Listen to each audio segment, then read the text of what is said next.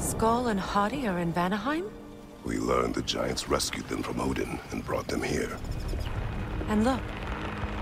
The sunlight wakes the sleeping roots. See how they stretch to welcome the sun? Beautiful, no? A far cry from the sheets of Midgard snow I've grown accustomed to.